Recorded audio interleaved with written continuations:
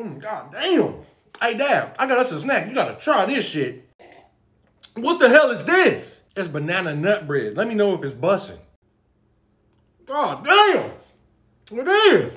I fucking told you. Shoo, sheesh. Wait a damn minute. I can taste the banana. Why I can't taste the nut? That's because you never tasted it before. Tasted what? What the fuck is in this bread? Relax, Dad. Don't curse around your grandkids. What the hell are you talking? I don't have no damn grandkids. No, the fuck you didn't. I literally made it bussin'. Stay your ass right there. I'm gonna break your fucking elbow when I get back.